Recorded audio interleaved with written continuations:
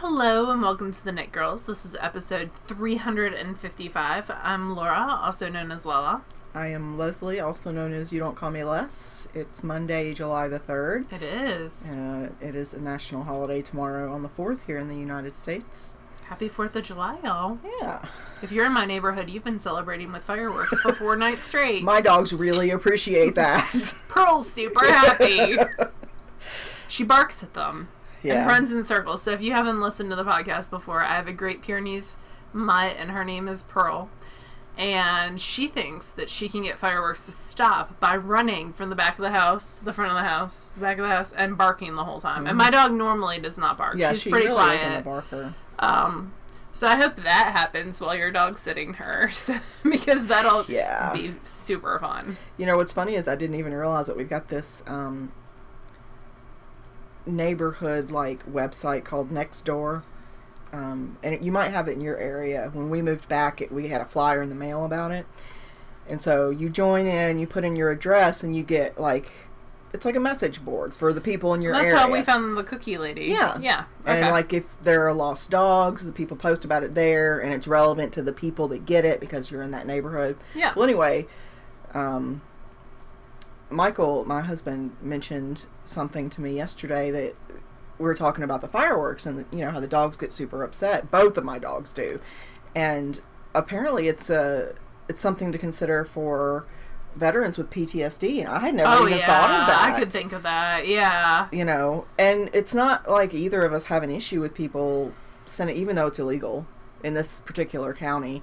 Is Um, Yeah, in most of the cities in the county, it's illegal. It's a They citywide sell like they sell fireworks though, like all over this Yes. county. That is super weird. certain cities in the county, it's against the law to set them off. But I mean, the penalty is a fifty dollar fine. oh, So like years ago.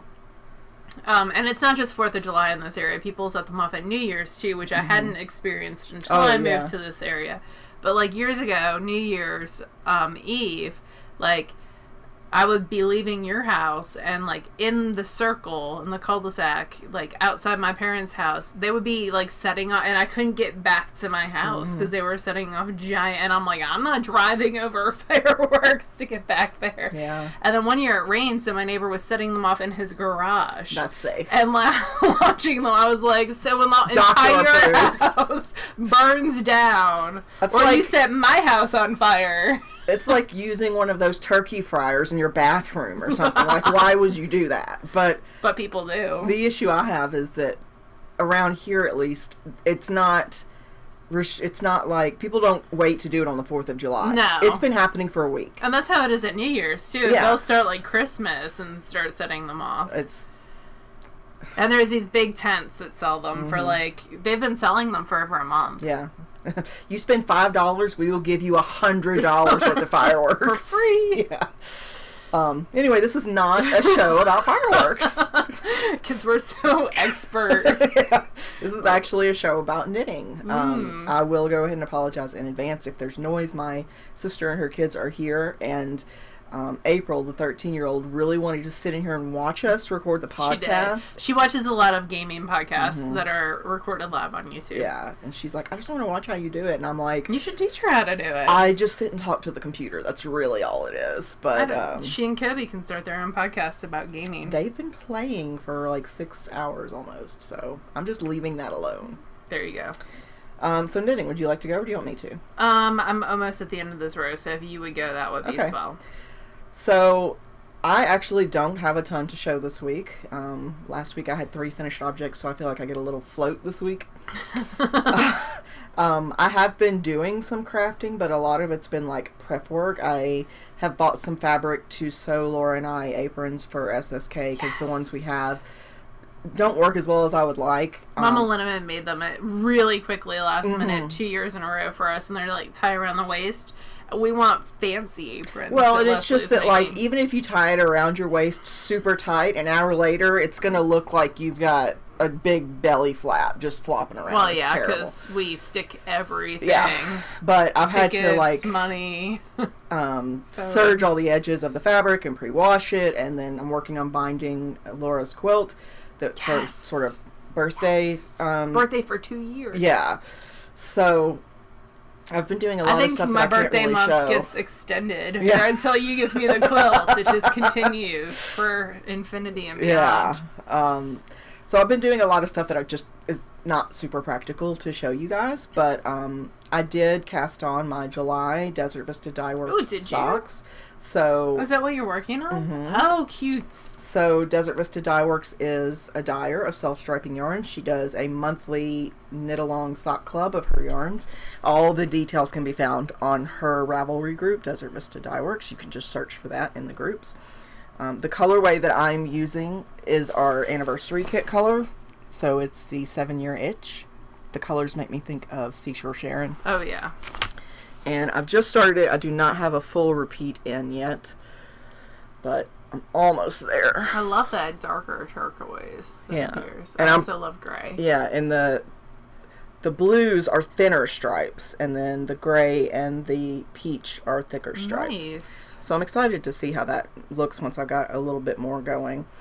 Um, my socks, as always, are knit on 2.25 millimeter needles, and this is just a merino nylon base. Nothing super fancy. It's just our exclusive color There you go. from Susan. Although she can start selling it at any Oh yeah, it was exclusive only until the kit came out. She can do. That's the way we are with all of our dyers for anything that we do. You know, we have no desire to own the rights for any of that. Just until we release it, like for goodie bags or whatever, and then it's back to them.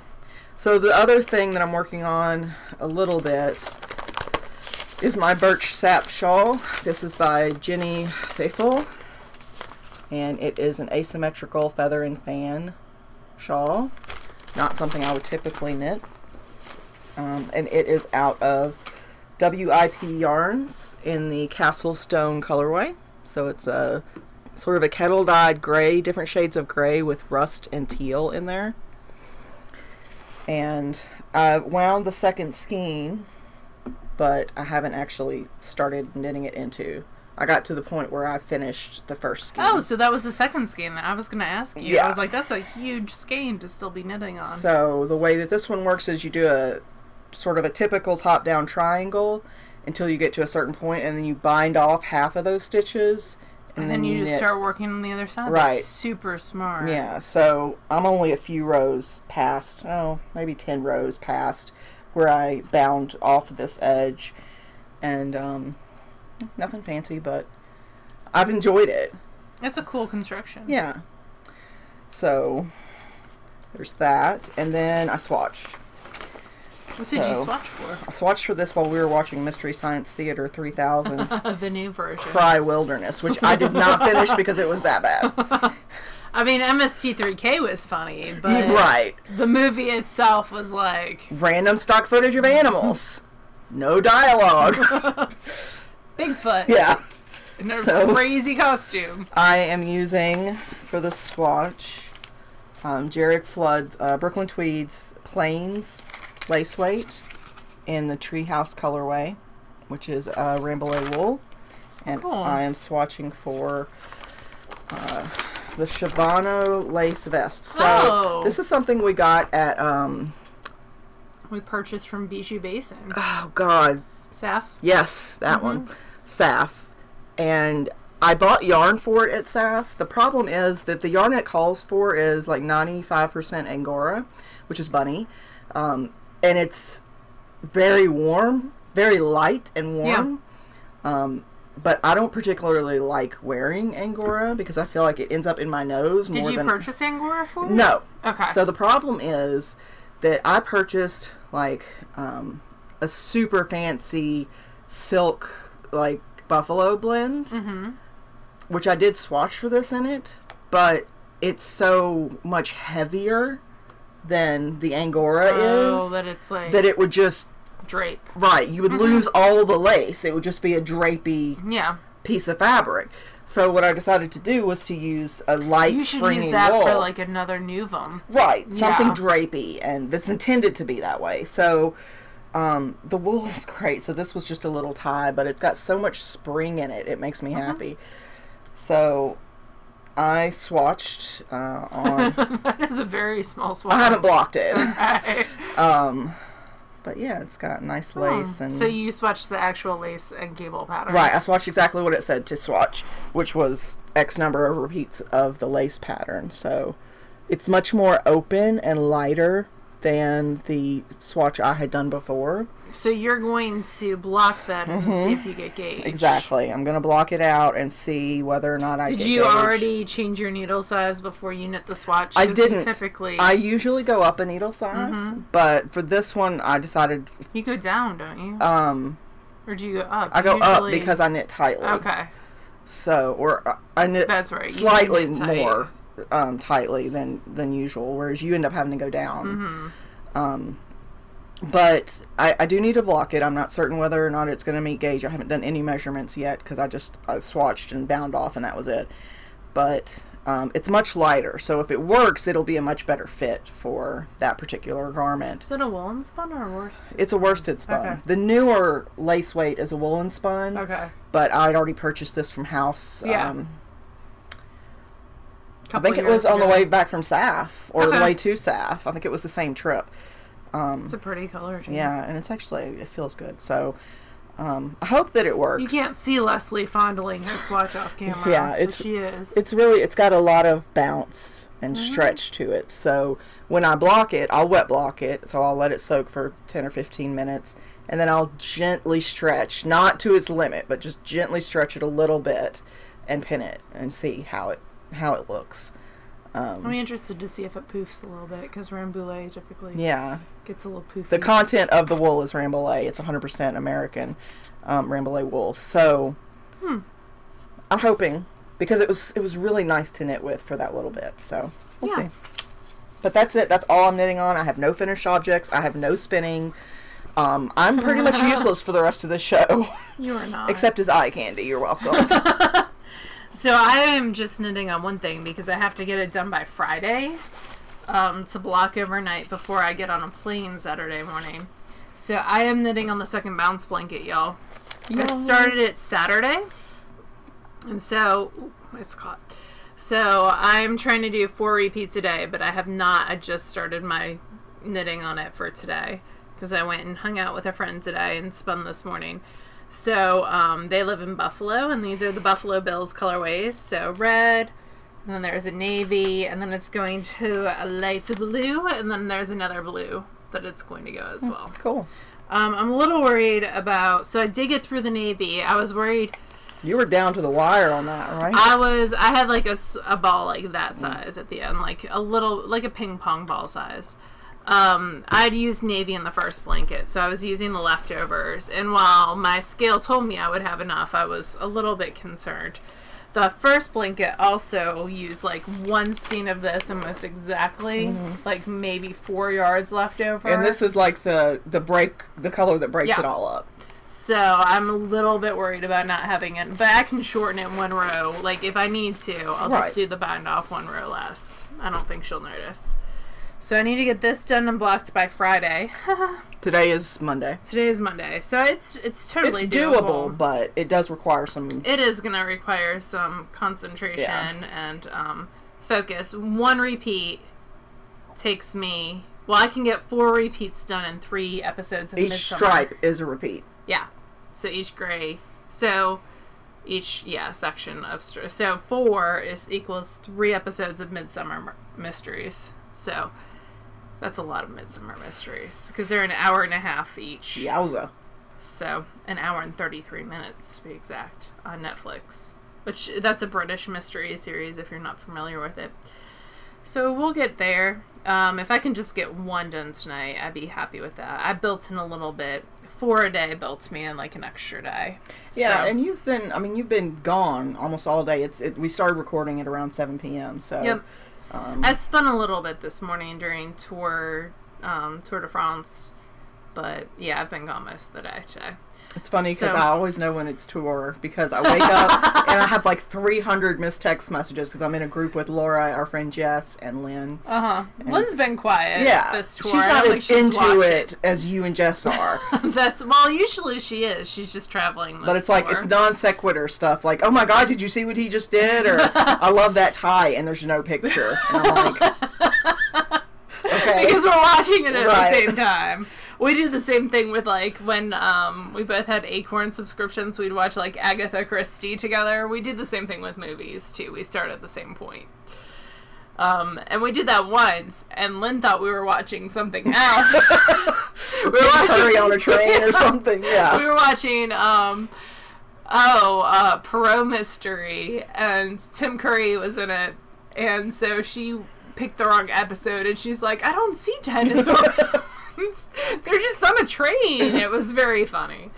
Um, so that is what I'm working on hardcore until I leave. I haven't thought about travel knitting yet. I texted my sister-in-law yesterday asking her what she's bringing, and she's bringing socks and a poncho to work on. And Mama mm-hmm. Linneman has. I don't know what Mama Linneman's working on. I don't know. She has something to work on. I do have two finished objects though, too. Yep. Because it was the end of the month. So I had to knit very quickly. I knit and this only took around four hours to knit. So I think this is going to become one of my go-to baby patterns for little girls. I've had it in my queue forever.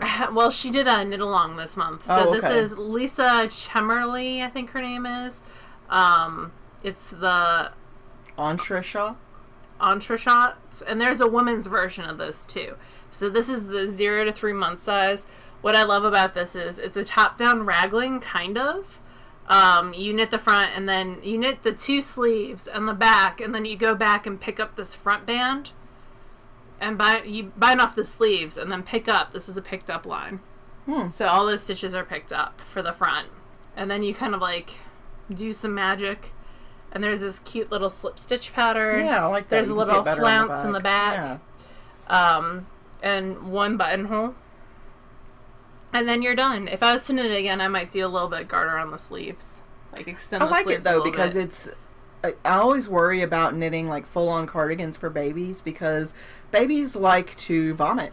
Um, yeah. And they aren't super concerned about what whether what they're wearing is yeah. you know handmade heirloom. So quick on and off with a one button is a big selling point. Yeah, I would say it is a little more feminine, so it would be hard a harder yeah, sell for a boy. Definitely if, like, more of a girl with the flounce and stuff. If you're like if you try to stick within gender, you know, like norms or whatever, but so this is going in my bin for because my coworkers are always getting yep. Breggers I knit it on size 7 needles, so I went down a size, and I knit this out of Mad Tosh DK Merino, which mm-hmm. is a mm-hmm. single ply.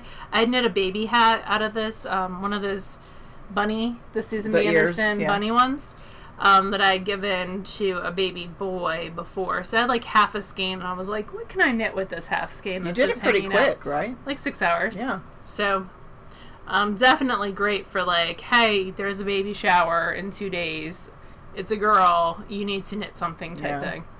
So, and it'd be super cute to pair with like a little skirt and a onesie yeah. and whatever for a baby shower. So that's done and that's going in the bin. And now I have something for to give if I there's a little baby girl. With my luck, the next five babies will be boys. Yeah. But you know. And then I also finished my DVD, my Desert Vista Dye Works socks.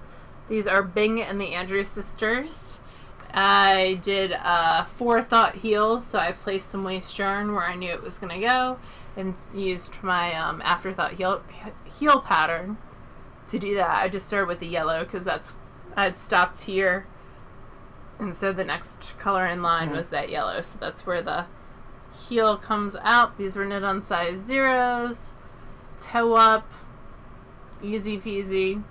Um, I haven't started this month's socks yet. I think I'm going to do Lightning Struck Heart colorway. I haven't decided yet. Those are done. I'm going to take those for sure on my trip. The the DVD socks yeah. for this month. Yeah, definitely. And these have not been washed yet. You can kind of see my lines in between the two 16 inch needles. So they need to be washed. Um, so those are my two finished objects. On spinning, I have one works in progress. This is a really different wool for me. This is Boil and Bubble. It was a Southern Cross fiber. It was his last Southern Cross fiber club that he did before he took some time off. And I'm not certain how to say that wool. I think it's Char... Charolais? Charolais. It's a French That's wool. a guess. Um, I know it's a French wool because David said so. It's got like a crimp pattern similar to a down wool, and it's kind of spinning up like a down wool. This is the first half. I'm gonna Navajo or chain ply this um, because I want to keep. There's this bright. It's kind of like it's almost fluorescent in its structure. There's a bright purple, a bright royal blue, and like a lime green, and then a yellow. So I kind of and I'm gonna do. I might do socks out of it. That'd They won't be super wash, but I think it'd be fun to do. And I didn't spin it especially thin, but I did spin it worsted um, with a short forward draft versus woolen that would have added lots of air. It could have easily been spun woolen. And I think it might have actually spun nicer woolen, but I was kind of in a worsted mindset on that. That was spun on the Ladybug. This is actually one of Leslie's bobbins that I need to return to her, but I'm being lazy Wouldn't have even known it. Just hanging out at my house. Um, finished skeins. I have three. I love that so much. Thank you.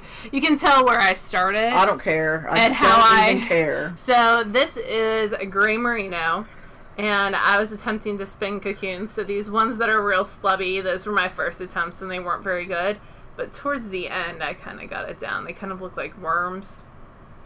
Um, so every yard or so, there's a cocoon. So it's spun over, kind of like core spun over the single as you're spinning the single. This is four and a half ounces. It's 250 yards. I want to try it again with like sari silk or something cool like that. I think that's Um, freaking and something awesome. not merino. I would be so proud of that. I'm excited to see how it knits up, to be honest with you. I think it'll knit up cool. And I think I'm going to knit up like the older part first. Um, since it's like baby hats and just a fun little thing. I did wet set this. I kind of wish I had steamed it, but at the same time, it's a single. And I really wanted to. Let me open it up. I really wanted to get it. Look, it's, it's a single. That's That's very. I told you I'd be super proud if this was mine. So, I mean, there are a couple corkscrews every once in a while, but I'm really, really happy with it overall. So I might knit a baby hat and then maybe a hat for me. It is a little thick and thin, but that's kind of the nature of it because you have to get really thin to spin over it mm-hmm. and then thick it, thicken it back out on the singles. So I'm super happy with that. It's 250 yards, 4.5 ounces. That is my sixth structure out of eight that I had to spin, so I have two more to go I really need to start on tomorrow. Um, What other structures do you have left? it's a good question. I have a, two crepes left. Oh, okay. Um, so one's a bubble crepe, which kind of gives the appearance of like a thread ply, like Rick Rack trim kind of looks like. Mhm. Um, and I can't remember the other one. Okay. But I need to start on them. They're both like multi-ply step structures. So you spin like fat singles and then maybe ply those together and then a thin and then reply together. So it's Okay. a multi-step process. Um, I did feel like spinning some long draw, so I grabbed a bat, and this is from Knit Spin Farm. It is Bright Spot. It's a 3.25 ounce bat. I spun it woolen. It's got alpaca, Falkland, merino, sari silk, Shetland, silk, and Targhee in it. Um, it's 220 yards. It's a nice, lofty, airy yarn, and just kind of fun. It's probably going to become a hat. Woolen yarns have a lot of air, which you can kind of see to it, um, but they don't have a ton of strength. They have less strength than like Yeah, a, wool- it's a a trade-off. Yep. So this spun up super super fast on my reefs. Um, I'm kind of hoping to get like at least four more bats spun from Knit Spin Farm during this tour, so we'll see how that goes. And then last but not least, this is kind of my fault. This is my fault. So I reached down to the bottom of a bin, and we bought this fiber when we went to Fiber Space with Wendy Johnson, so like 2009. Oof. Yeah. So it had compressed a lot because it had been sitting on I the had a bottom braid of, of a that, bin. and it had compressed too. Yeah. So that's my fault. Like if I had spun it right away, I'm sure it would have been a nice fiber. But I was having a lot of issues with spinning. I attenuated it, which means I kind of like stripped it down, Mhm. but also added kind of like tried it to a pull bit, it yeah. out and stretched it. I stretched it sideways. I tried Malia's like whip it thing. Um, and I was trying to spin it thick to begin with because I knew that it was not going to go thin with for me. So it's a little bit thick and thin, but it's a nice chunky yarn. Yeah. I think it'll knit up into like this would be great solid to do with a brioche. Oh like yeah. a chunky other one for a brioche. So this is BFL top, and it's got a lovely shine to it. It was dyed by Miss Babs. It's the tonic and lime colorway. I don't think she dyes fiber anymore. She does still hankies because they're on sale right now. Okay. Um, I don't know how often how often she does fiber. It's a two ply. It's 120 yards of an Aran or chunky weight.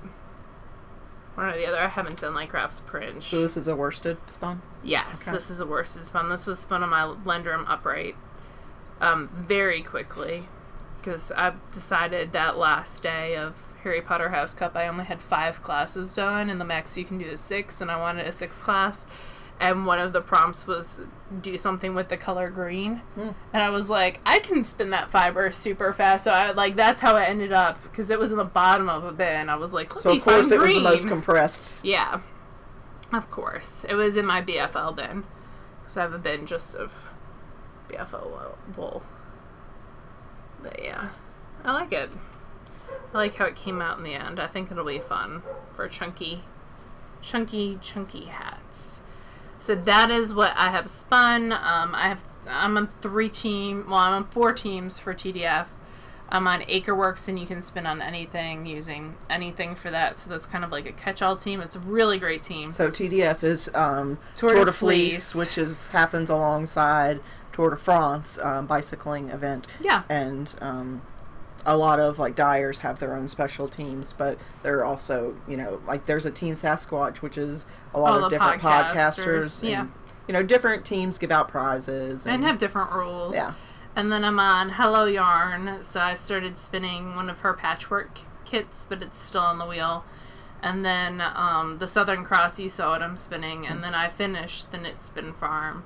Um, I actually have another bat that I finished that's still wet because before I left to go see our friend Becca, I put in the spin dryer, like I soaked it, and I meant to hang it, and I totally like So ran still in the in the house. so it was still in the spin dryer, which did not help it um, dry at all. So that should be able to be shown next week. yeah. That's it for me. Um, so as far as books, I finished Steal the Light, which was um, sort of a paranormal Did you like it? Who Done It. I did, and I started the second one, which was um, something else. Steal the Day. I like this. Did I already tell you I like the second series a little bit better? You did, but Okay. I, I wanted to finish this one. No, you I have to finish the first one. Um, it's I haven't finished the second one. I've just started it because the second book, the follow up to Lightning Struck Heart, um, which is a Tales of Verania. That's the collection, Tales of Verania. The second book is called Destiny of Dragons. This is an adult book. It is. It is a male male romance, and that is definitely a part of it. But most of it's like sass from a gay unicorn and a half giant and Knight Delicious face, and it is so funny. Um, if the you audiobook's even better. it I feel is. like. Um, now the, audiobook for Destiny of Dragons isn't out yet. I think it will be, but it it, just, it didn't come out the same day. So, um, but the audiobook for Lightning Struck Heart is hilarious. I think he self publishes, so. Um, you do have to be open to the whole male male concept, but it is so funny. um, so funny. I'm about seventy percent through that book. I think if you like RuPaul's Drag Race, Yeah. like this. it is. I've I've been trying not to completely devour it in one sitting because I definitely could, and I I'm pretty sure that there's going to be a follow up to this because I'm seventy percent and the quest that they're on is nowhere near done. So. Um, that's a good thing and a bad thing. 'cause it means I'll have to wait like another year. Or for- two. Yeah, for another book because he's got several series. yeah, Um, T.J. Klune is the author. Um, Laura's also reading that book, I am. and I listened to. So I talked last week about the Stone Man, which was by Luke Smitherd, and I liked it so much that I got another audiobook by him called um, In the Darkness, uh, the Black Room series. It was initially released as four like two hour segments, and um, I bought the the whole collection and listened to it in like two or three days, and it's I would say sort of paranormal. It deals with like astral planes a little bit, and projecting yourself into another person's consciousness. It was so good, but it was one of those books that's so hard to listen to because even though it sort of opens your mind to all these other ideas, it also like brutally shows you how terrible people can be. So it was really hard to listen to. So as soon as I finished that, I restarted the Lightning Struck Heart on audiobooks. I was like, I need something happy or I'm gonna like seriously get into a funk because it was it's heavy but it's so good. Um, he's got I, I want to say like five other audiobooks that I'm going to listen to them, but I have to put something else in between them because it's like watching too many of The Walking Dead in a row. Like you just become numb to humanity. or Um, Dexter. or Dexter, yeah. Um, you know what's funny was I watched Dexter avidly while it was being like Broadcast. yes, Mm-hmm. and the last season I got up to the second to the last episode and never finished it. That's how I am with So Eureka. I still have no idea how it ended. I didn't finish the last like four episodes of Eureka. Yeah. I do that a lot because then I'm like in my head it'll always it's never over. if- I've never rewatched the last episode of MASH. I've rewatched all the other episodes probably like 35 times each. I've never rewatched the last episode. Mm. Anyway, the lies we tell ourselves. I know it's not over. Well, uh, the last uh, Tiffany Aching book, it took me what two years to read it, or a year. Wasn't there something that came out recently for that? Or maybe uh, my version of recently might have been a couple years ago. What was the last book? I can't remember the name Uh, of it. It I was after the Wintersmith. The Tiffany Aching series. So I didn't read it for the longest time because I was like, in my head, Terry Pratchett will still be alive writing books, as long as I don't read this last book. That's a I really good fantasy series for, I would say, teens. You know, It is. It's a little bit convoluted at times. I feel like, Yeah, but that's it's a good like. world. Yeah. And I listened to it. I I didn't did read too, it. yeah. So I feel like he does a lot of um, footnotes hmm at the bottom. So I feel like when you listen to stuff, sometimes you don't get those footnotes clear as clear as if you were reading it. My problem with reading him is I just skip past the You do skim, yeah. Well, and Laura's a known skimmer in general. Like if it's if it's not dialogue, she tends to skim. If you decide to write 15 paragraphs of adjectives and adverbs describing the forest, I don't really care. That's fair enough. So, a lot of times, if it's something I really, really like, I reread it or I uh, listen to the audio. Yeah. Like with Ilona Andrews. I listen to her audio a lot. Anyway, So, what about you? What are you reading? I am also reading the second in the Destiny of Dragon, like the Destiny of Dragons, which is the second in the Lightning Struck Heart series, and then I'm listening to The Thief by Megan Whalen Turner. It's one of my favorite YA fantasies of all time. If you like Rick Riordan type stuff, highly recommend it. Um, and so this came out probably late 90s, and this author only releases a book like every five years. Mm. So the fourth or fifth in the series just came out. Um, I probably have talked about this before. And so I'm rereading slash listening to um, my local library had this one on audi- audio. Mm-hmm. So I'm listening to this one, but I've already like I have them all on my Kindle anyways, Yeah. and in my library. So I'm gonna read the second and third, um, and then I think it's the fourth just came out. I have a hard copy of that that I'm actually going to donate to the library, and then probably if it's good, I'll buy the Kindle version for me. So I'm anticipating it being good, but we'll see. Um, That's actually one of my favorite parts of like beloved series is rereading them when a Mhm. new one's coming I out. think you and Kobe would both like The Thief by Oh, I'll Megan have to put it on my list and, and Yeah. check it out. The um, I went to get the second one off of Audible because I'm going on this trip, and I was like, I can listen to that, but the narrator changed, and just looking at like listening, it's like a British narrator now, hmm and listening to the brief snippet, I was like, mm, I might just read in it just Yeah. as I go. Like if I have Sucknut Talks, I can just read in it versus listening. Plus, Yeah. it goes faster. A narrator can really make or break a book. I can, for sure.